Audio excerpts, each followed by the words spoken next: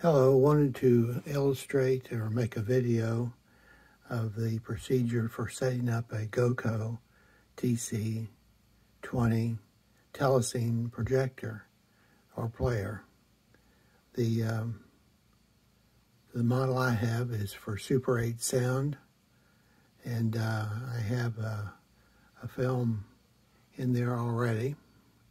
The, uh, the supply reel goes on the left-hand side, which is kind of different than a normal projector.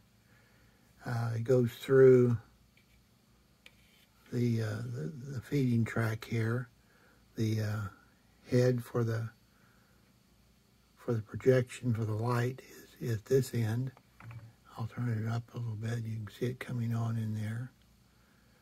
The uh, head for the sound is right here. And then the film comes in it goes underneath this first roller and above the second roller.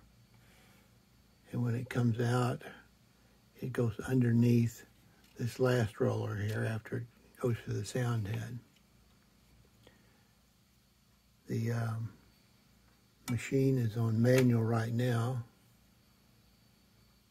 which causes it to lower the head, the sprocket head back here, which actually causes the machine to, uh, the prism to, to, to turn. It, it, drives the prism via the sprocket roll. And the film comes up underneath there.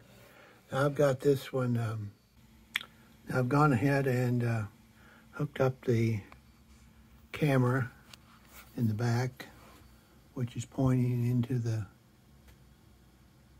into the lens in the backwards where you copy the the actual film. And here's my uh, parameters I've used for the Sony camera here that you may find it helpful. Shutter priority with 24 frames a, second seems to be the appropriate uh, with white white balance turned on to uh, either auto or uh, or uh, white white balance. Um, all the other uh, settings seem to be pretty much uh, automatic. But I wanted to show you that. I've got the camera, looks like about six inches away from the, from the lens.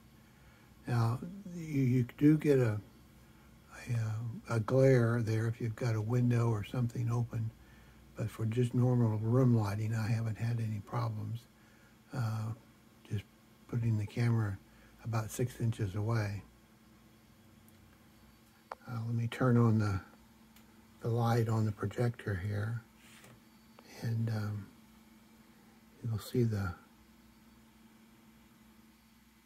the film come up and is displayed on the monitor for me. Makes it a little bit easier to uh, make a judgment about what you're what you're filming. Now we'll turn the camera on. I'm not going to do it right now, but you turn the camera on, turn the projector on to play,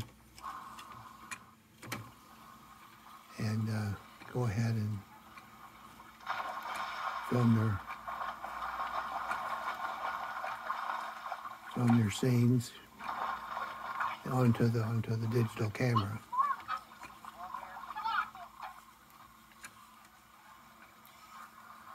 Okay, I think that covers it. Uh, if you've got any questions, oh, I, well, here's the settings I've got at the end, end of the projector. I've got it on 18 frames per second for this film, and then the audio out cable goes over to the camera.